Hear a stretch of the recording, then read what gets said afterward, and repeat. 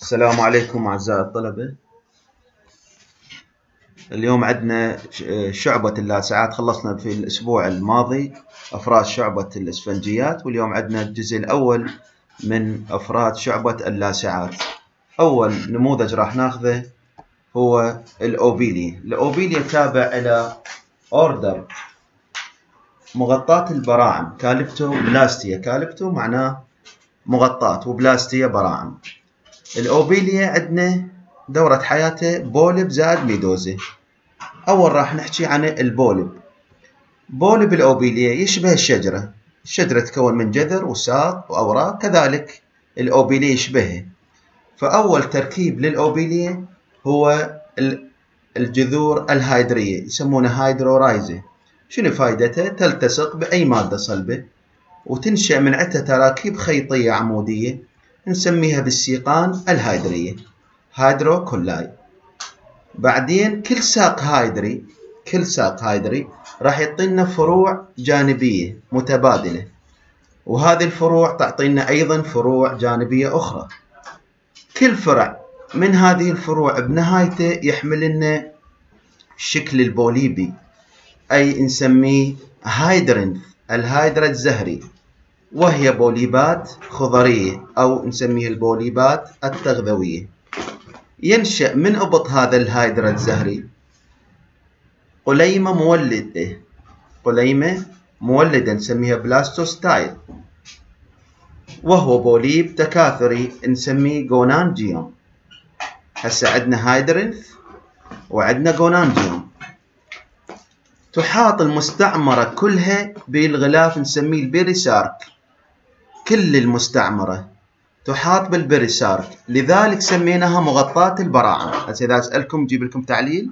ليش سميناها مغطاة البراعم كالبتوبلاستية؟ تقولوا لي لأن البريسارك غلاف البريسارك يحيطنا مستعمرة الأوبيلية جميعها بما فيها الفرد الخضري والفرد التكاثري. لذلك سميناها مغطاة البراعم البريسارك من يحيطنا الفرد الزهري. شو نسميه؟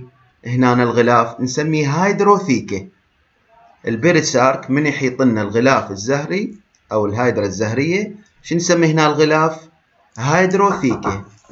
ال perisarc من يحيط لنا الفرد ال gonangium شو نسميه؟ gonotheca. ال perisarc من يحيط لنا الفرد ال gonangium. شو نسمي الغلاف اللي يحيط ال gonangium؟ نسميه gonotheca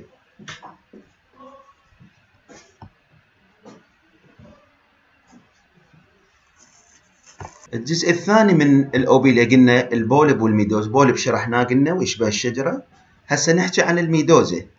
الميدوزة تركيب مظلي يحوي على قناة دائرية نسميها circular canal وقناة شعاعية radial canal تلتقي في الوسط مكونة تركيب نسميه بالمقبض manubrium وينتهي بالفم. يوجد على كل قناة شعاعية تركيب كروي الشكل نسميه الجوناد. عندنا أربع أقنية شعاعية إذا عندنا أربع مناسل جوناد وتكون كروية الشكل. أيضا يحتوي على مجسات راح نشوفها. هذا الشكل الميدوزا الأوبيلية راح ناخذ آه، جنس الجونونيموس راح يشبه تماما لكن بفروقات معينة. فجوز نجيب لكم فروقات بين الأوبيليا ميدوزا والجونونيموس فأرجو الانتباه.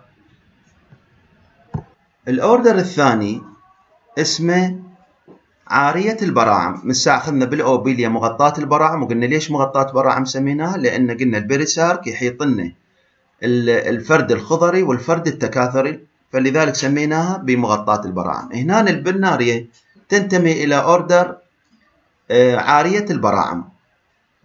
عارية البراعم. ليش عارية البراعم؟ لأن البريسارك يصل إلى المنتصف ويتوقف.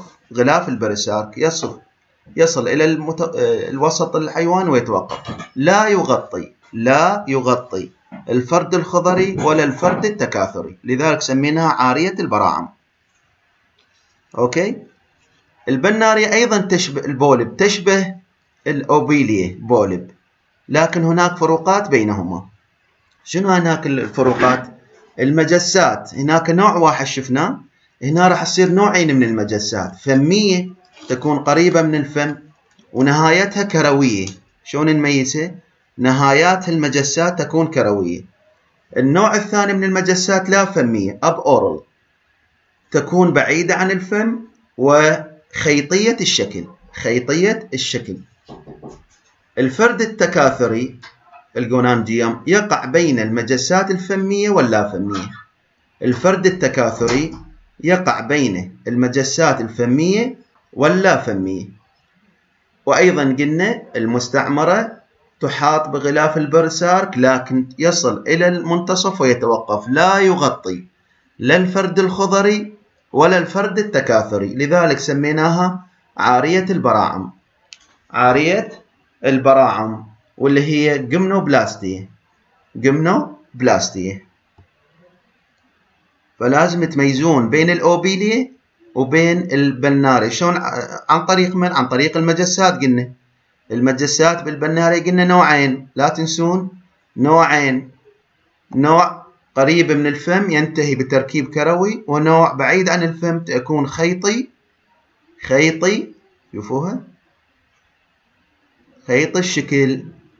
وهنا القريبة من الفم شوفوها تنتهي بتركيب كروي. النوع الثاني اللي ينتمي إلى order Gymnoblastea عارية البراعم هي ال Hydractinia. Hydractinia تظهر فيها ظاهرة تعدد الأشكال polymorphism. يعني شنو تعدد الأشكال؟ يعني هناك عدد من الأفراد بالمستعمرة. كل فرد من هذه الأفراد يقوم بوظيفة معينة. مثل واحد للتغذية واحد للدفاع. أوكي؟ مثلا واحد للتكاثر زين؟ وهكذا. واحد لبناء الهيكل. فراح نشرحن. أول واحد هو الفرد التغذوي. أو المعدي. gastrozooid gastro يعني معدة. gastrozooid جاية من gastric gastrozooid كبيرة الحجم. كبيرة الحجم. وتحمل كل منها دائرة واحدة من المجسات الخيطية. المحيطة بفتحة الفم الواقعة على قمة المخروط الفمي أو تحت الفم. النوع الآخر هو الدفاعي. الدفاعي داكتيلوزويد لا يحتوي لا على فم ولا على مجسات بل يحتوي على كيس أو أكياس لاسعة تقوم بعملية الدفاع عن النفس واقتناص الفرائس. ال dactylo لا يحتوي لا فم ولا مجسات شنو عنده؟ عنده أكياس لاسعة تقوم بعملية الدفاع عن النفس وكذلك اقتناص الفرائس. النوع الثالث هو التكاثري gonozooid gono مقطع gono معناه للتكاثر حفظوها. gonozooid لا يحتوي على فم. لا يحتوي على فم وخالي من المجسات. شنو يحوي؟ يحوي مجموعة من الخلايا اللاسعة الكبيرة وتحمل كل منها مجاميع عنقودية من حاملات المناسل أو نسميه الأكياس السبورية. أكياس سبورية التي تحتوي على حيام أو بيوض. حيام أو بيوض. كذلك تحتوي على أفراد قلنا للحماية مجسية وتحتوي تحتوي على أفراد هيكلية. لكن بال slide عندنا بالمختبر راح تشوفون فقط هاي ثلاث أنواع شرحتهم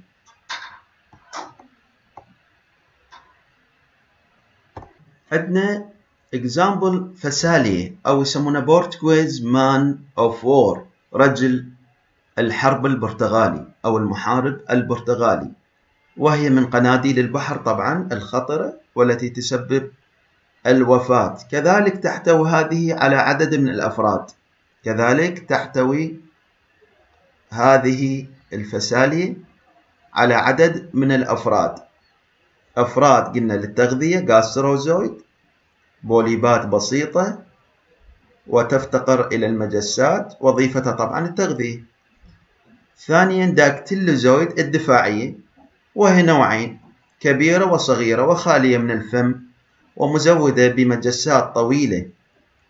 قد تصل إلى 15 متر. وتحمل أعداد كبيرة من الخلايا اللاسعة. وظيفتها هي اقتناص الفرائس. الفرد الثالث هي للتكاثر. وهي متفرعة. تكون تقوم المجسات تكون متفرعة وتقوم بتكوين الميدوزات الذكرية. التي تكون صغيرة وكذلك تبقى متعلقة طبعا بالمستعمر وميدوزات أنثوية تطرح إلى البحر تطرح إلى البحر.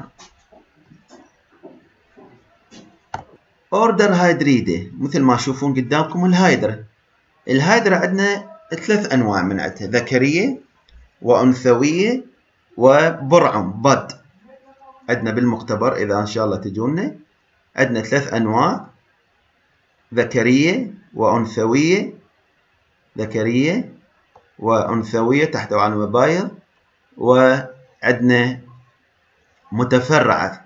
متفرعة. هاي تفرع شوفوها. برعم. مين تتكون الهايدرا طبعا من hypostome. hypostome هذا hypostome. شنو معنى hypostome؟ قلنا ال stome فم. معنى stome فم. hypo تحت.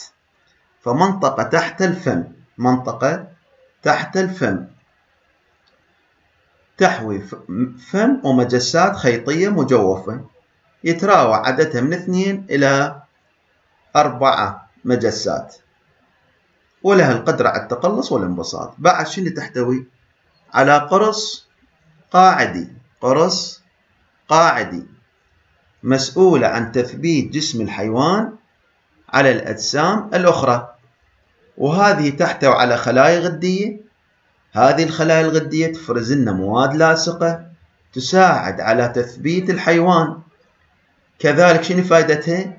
تكون لنا فقاقيع أو فقاعات غازية تساعد في طفو الحيوان فوق سطح الماء.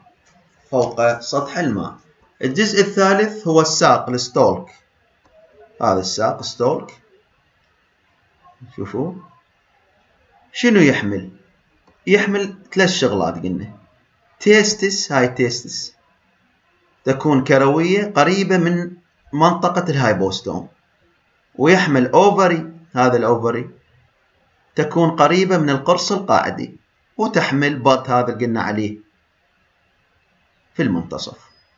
إذا ثلاث شغلات يحملها الساق أو العمود أو ال stalk.